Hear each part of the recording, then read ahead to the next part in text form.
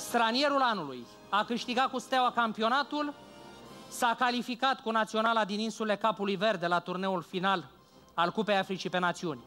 Dictonul preferat spune totul despre caracterul său de oțel. Meciurile, spune premiantul nostru din această seară, nu se câștigă prin vorbe. Doamnelor și domnilor, stranierul anului, cel mai bun jucător străin din România și pe bună dreptate, Fernando Varela Steaua!